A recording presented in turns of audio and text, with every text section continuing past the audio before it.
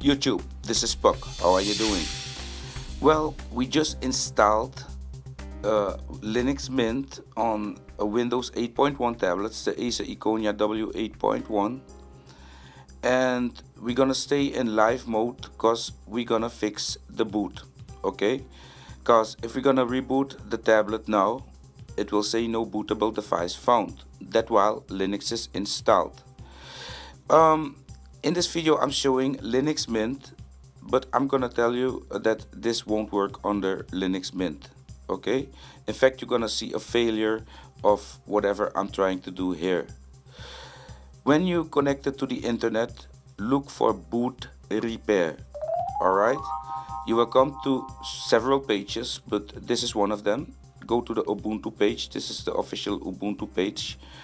And you will see some lines up there. You see that Open the terminal, copy the lines and run them one by one in the terminal.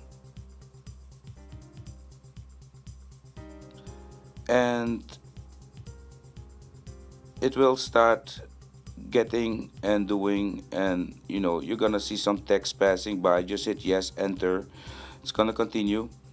Post the second line if it's waiting there and just continue because this Linux uh, Mint 17.3 is running, in fact, is built is built on Ubuntu 14.x. This seems to be some problem with boot repair.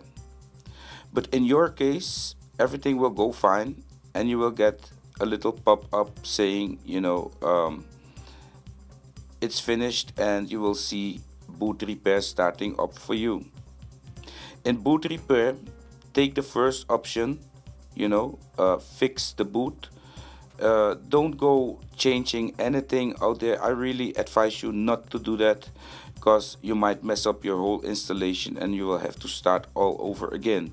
Just choose the first option and here you can see that at 80% my uh, terminal screen got stuck so nothing else I can do than reboot. And um, yeah I'm not even gonna install this or work on this uh, any longer. I'm gonna just install another distro that was built uh, on Ubuntu 16 so that is very important because Ubuntu 16 uh, has the right tools uh, inside so uh, boot repair will work and you know you will be able to boot uh, the tablet in a normal way after the install and after you fixed and run boot repair. All right? So that is how to fix uh, your linux uh, boot uh, section.